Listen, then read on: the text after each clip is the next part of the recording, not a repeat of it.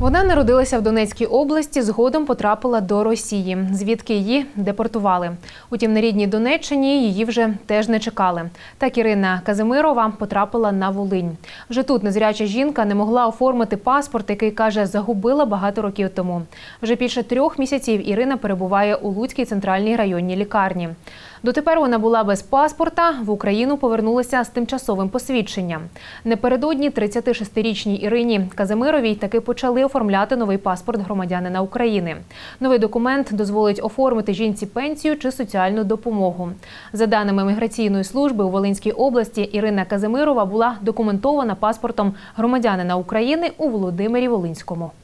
За нашими запитами ми отримали форму, по якій була документована дана громадянинка, і згідно неї ми е, мали можливість оформити е, даній пані новий е, паспорт громадянина України у формі id карти В даних вказано, що е, дана громадянка е, уродженка міста Макіївки Донецької області.